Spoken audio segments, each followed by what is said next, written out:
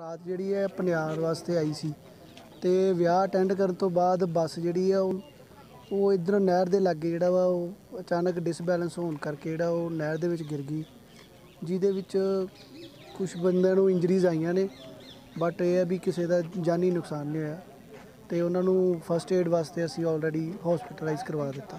Thank you ਕਿੱਥੋਂ ਤੋਂ ਕਿੱਥੋਂ ਜਾ ਰਹੀ ਸੀ ਬੱਸ ਜੀ ਇਹਨਾਂ ਰਸਤੇ? ਇਹ ਪਨਿਆਰ ਤੋਂ ਮਰੀਥਲ ਜਾ ਰਹੀ ਸੀ। ਕਿੰਨੇ ਲੋਕ ਮੌਜੂਦ ਸੀ? ਐਕਚੁਅਲੀ ਕਨਫਰਮ ਨਹੀਂ ਹੈ ਕਿੰਨੇ ਬੰਦੇ ਸੀ ਬਟ ਆਲਮੋਸਟ ਜਿੰਨੇ ਬੰਦੇ ਸੀ ਉਹ ਸਾਰੇ ਬੱਸ ਚੋਂ ਕੱਢ ਦਿੱਤੇ ਗਏ ਰੈਸਕਿਊ ਕਰਕੇ। ਜਿਹੜੇ ਇੰਜਰਡ ਸੀ, ਉਹਨਾਂ ਨੂੰ ਅਸੀਂ ਫਸਟ ਏਡ ਵਾਸਤੇ ਹਸਪੀਟਲਾਈਜ਼ ਕਰਵਾ ਦਿੱਤਾ।